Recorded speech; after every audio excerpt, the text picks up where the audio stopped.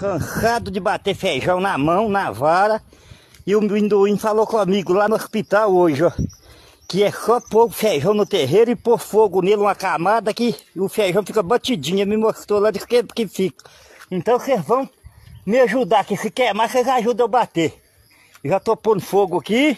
Pois não vai queimar o feijão. Não queima não, que o amendoim me prometeu que não queima. Vai o feijão todo. Não, o amendoim falou que pode pôr, que o pai dele batia. Eu nunca vi bater feijão com fogo. Pois eu vou pôr, ele mandou e eu acredito nele. Vai estragar o feijão todo. Aí, ó. Você é doido. Tô Pois pondo, já pus fogo, eu tenho lá recomendo bonitinho, ó.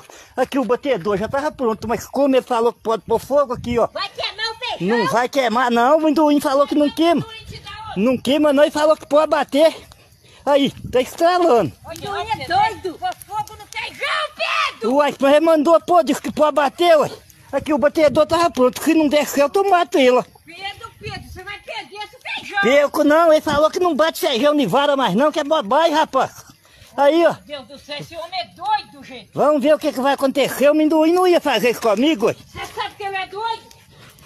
Cadê a enxada? Deixa eu ver se tá queimando de vera, que eu tô achando que tá queimando mesmo.